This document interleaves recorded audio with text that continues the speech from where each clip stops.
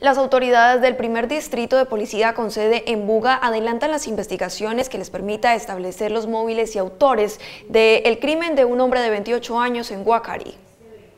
A eso de las 5 y 20 de la mañana del domingo se presentó un atentado con arma de fuego en el municipio de Guacari. La acción se presentó en la carrera 11A con calle segunda del barrio El Porvenir, donde perdió la vida un hombre identificado como Miguel Wilcher Lenis de 28 años, quien recibió varios disparos en distintas partes de su cuerpo, que le causaron la muerte de manera inmediata en el lugar de los hechos. Las autoridades realizaron las pesquisas para determinar los móviles y autores de este hecho violento.